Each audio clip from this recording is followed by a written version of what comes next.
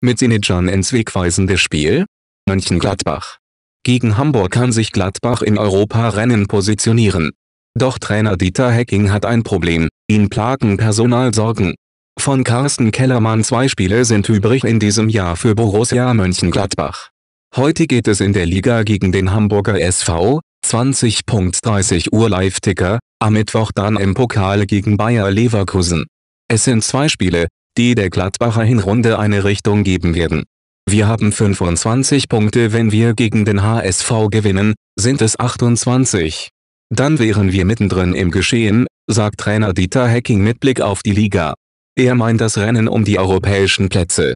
Mit 25 Punkten, verdoppelt man das, wären es 50, wäre Borussia an der unteren Europagrenze unterwegs, mit 28, dann 56, hingegen schon mit Blick Richtung Champions League. Es kommt also auf das HSV-Spiel an, auch emotional. Denn die Leistung der Borussen beim 0:1 in Freiburg am Dienstag war arg dürftig. Darum bedarf es einer eindeutigen Reaktion des Teams. Das haben die Spieler selbst eingestanden. Sie wollen Europa schaffen. Bestenfalls die Champions League. Dazu bedarf es aber ein Mehr an allem, was in Freiburg geboten wurde. Hacking warb dafür, wie auch Manager Max Eberl, nicht so große Rosinen im Kopf zu haben.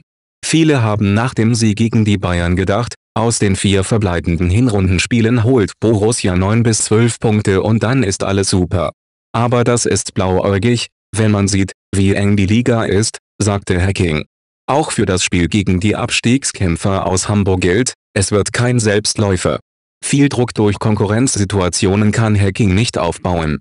Sieben Spieler sind verletzt, darunter Christoph Kramer, der nach dem erneuten Kopftreffer in Freiburg geschont wird.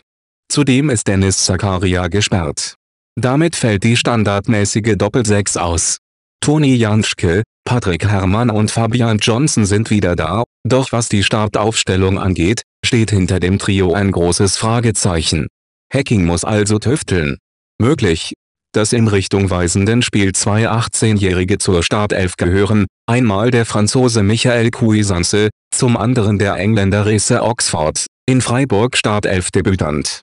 Der ist ausgeliehen von West Ham United, soll aber vielleicht gekauft werden. Eberl hat sich jedenfalls nach den Kaufmodalitäten erkundigt. Interessant ist auch der ablösefreie Hoffenheimer Mark Uth, doch der Stürmer scheint als Zugang für die neue Saison nicht realisierbar zu sein. Er ist auch bei Schalke im Gespräch. Gegen den HSV müssen es aber die Offensiven richten, die verfügbar sind. Raphael dürfte zurückkehren ins Team, er wurde in Freiburg etwas geschont. Eine taktische Option könnte sein, dass Hacking auf ein 3-4-3 umstellt, wie in der Schlussphase im Breisgau, und vorne auf ein Dreierkonstrukt setzt. Jede Umstellung erschwert sicherlich gewohnte Abläufe, doch jenseits der taktischen Gegebenheiten hat Hacking den seinen im Nachklang des Freiburg-Spiels wohl recht deutlich zu verstehen gegeben, worauf es ankommt. Wenn man gar nicht ins Spiel kommt, muss man mit anderen Mitteln versuchen, die Aufgabe zu lösen, stellte er klar. Heißt, drei Punkte müssen her, egal wie. Und ein gutes Gefühl, mit dem dann auch der letzte Akt des Jahres, das Pokalspiel gemeistert werden kann. Das wird das Stimmungsbild zum Jahreswechsel endgültig festlegen